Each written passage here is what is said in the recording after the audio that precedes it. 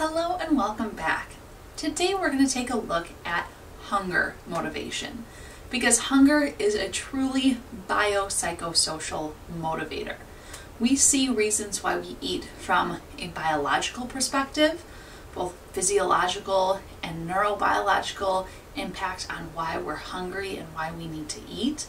But there's also the social and emotional ties to hunger as well, plus how we psychologically view ourselves and food that are all going to have an influence on why we eat, what we eat, and when we eat.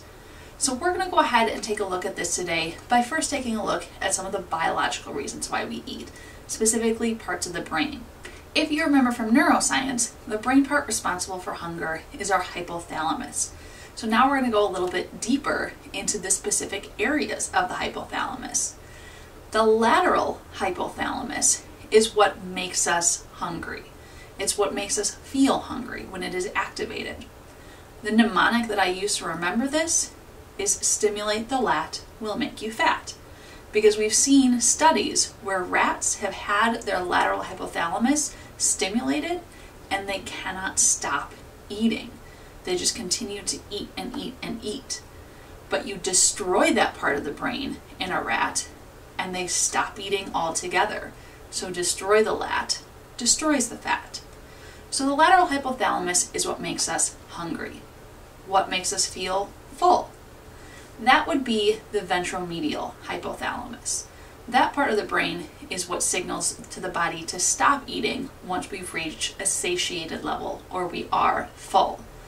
Destroy the ventromedial hypothalamus and a rat will never know when it is done eating. It'll never know when it's full.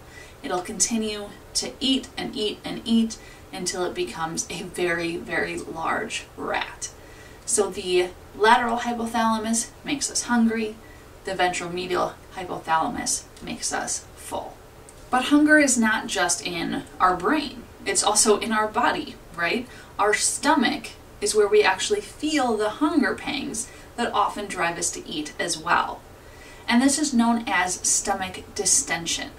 And the research that was done by Washburn was he actually swallowed a balloon.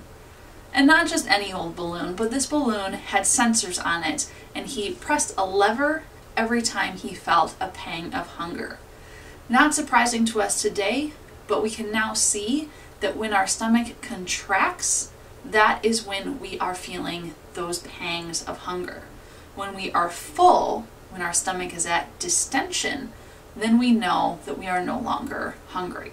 This is going to work hand in hand with our hypothalamus as they send these messages to our brain to let us know when we're hungry and when we're full.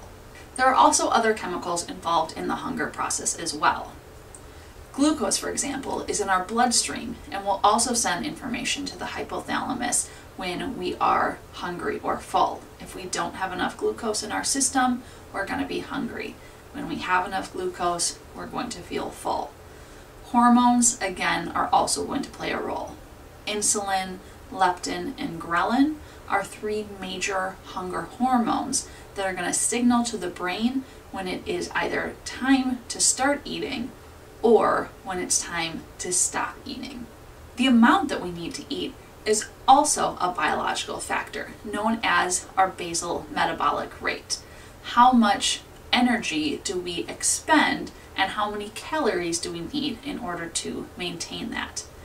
Genes and early childhood are going to influence what's known as our body's set point, and that's essentially the weight that our body feels comfortable being at and how much energy our body needs to maintain.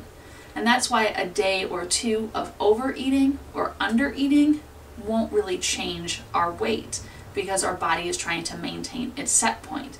It'll either speed up or slow down the metabolism in order to keep our body at that set point.